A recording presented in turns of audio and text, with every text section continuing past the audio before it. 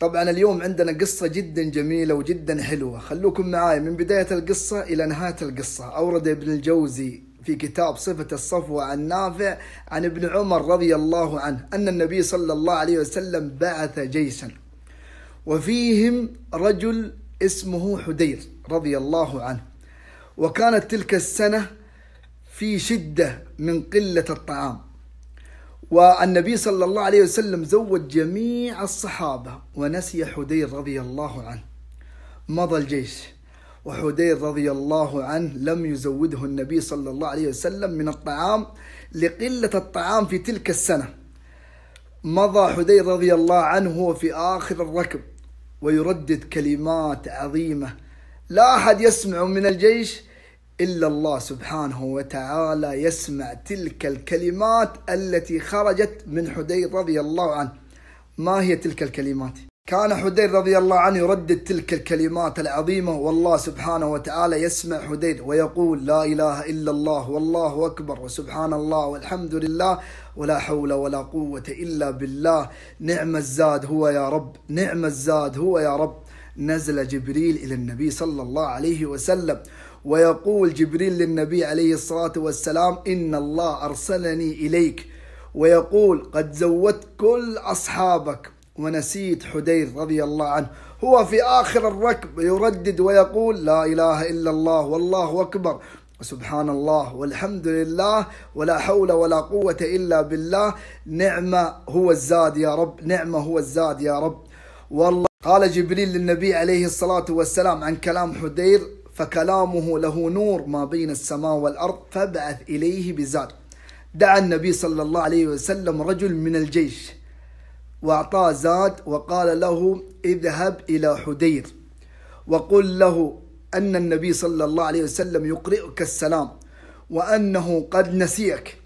وأرسل الله جبريل عليه السلام إلى النبي عليه الصلاة والسلام ليخبرك عن عن حدير وأعلم أرسل إلي جبريل يذكرني بك وأعلمني مكانك. ذهب الرجل بالزاد إلى حدير رضي الله عنه ووجد حدير يردد تلك الكلمات العظيمة لا إله إلا الله والله أكبر وسبحان الله والحمد لله ولا حول ولا قوة إلا بالله. نعمة هو الزاد يا رب نعمة هو الزاد يا رب. سلم على حدير وقال له أن النبي صلى الله عليه وسلم يقرئك السلام وأن الله أرسل جبريل إلى النبي صلى الله عليه وسلم يذكرك بحدير. انظروا يا أحبة نزل جبريل عليه السلام بأمر من الله إلى النبي عليه الصلاة والسلام حتى يذكر بحدير اللي هو في آخر الجيش. لما سمع حدير هذا الكلام من من الصحابي اللي أرسلوا النبي عليه الصلاة والسلام حمد الله وأثنى على الله وصلى على النبي عليه الصلاة والسلام. ثم قال حدير الحمد لله رب العالمين ذكرني ربي من فوق عرشه ومن فوق سبع سماوات ورحم ضعفي وجوعي.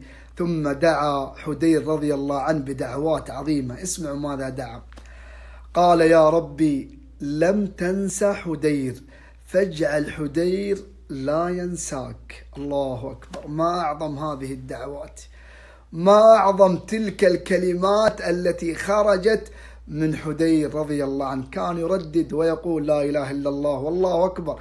سبحان الله والحمد لله ولا حول ولا قوة إلا بالله. الصحابي اللي أرسل النبي عليه الصلاة والسلام حفظ كلام حدير ورجع إلى النبي عليه الصلاة والسلام وأخبره بما قال حدير رضي الله عنه قال النبي عليه الصلاة والسلام للصحابي أما إنك لو رفعت رأسك إلى السماء لرأيت نورا ساطعا ما بين السماء والأرض. الله أكبر يا أحبة. الله لم ينس حدير رضي الله عنه. يا أحبة نستفيد من هذه القصة. من كان مع الله كان الله معه. من أكثر من ذكر الله سبحانه وتعالى ذكره الله عند الملائكة. من أكثر من ذكر الله شرح الله صدره وغفر الله ذنبه وأنار الله قلبه وفرج الله همه ويسر الله أمره. ذكر الله يا أحبة راحة للقلوب وطمأنينة للنفوس. كن مع الله ولا تبالي. خليك قريب من الله سبحانه وتعالى. الله راح يسعدك في الدنيا والآخرة. الله يسعدكم.